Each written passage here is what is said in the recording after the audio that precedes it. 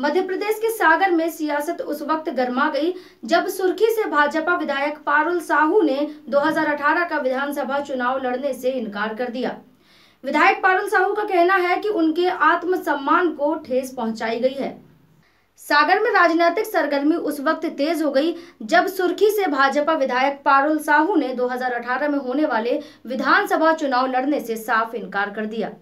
BJP विधायक पारुल साहू ने साफ़ तौर पर कह दिया है कि वो आगामी विधानसभा चुनाव नहीं लड़ेंगी। पारुल साहू ने ऐसा फैसला क्यों लिया, इस पर उनका कहना है कि क्षेत्र में विकास कार्य करने के बावजूद भी रिपोर्ट में उनके कामों को निल बताया गया है। इस बात से उनके आत्मसम्मान को ठेस पहुँची है।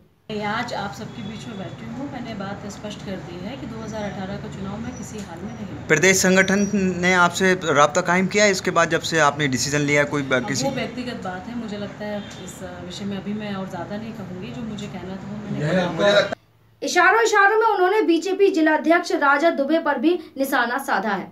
दरअसल ये विवाद जनवरी में बीजेपी की प्रदेश कार्य समिति की बैठक से शुरू हुआ है।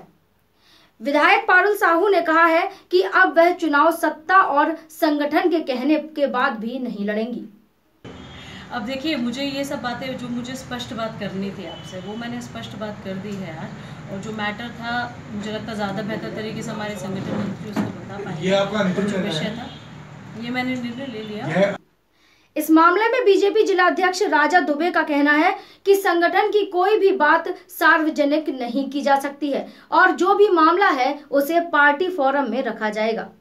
देखिए, पार्टी में सौंपी गई संगठन को कोई भी रिपोर्ट मैं किसी तरह से सार्वजनिक नहीं कर सकता, ना ही कोई जिलाध्यक्ष संगठन में इस तरह की पद्धति है।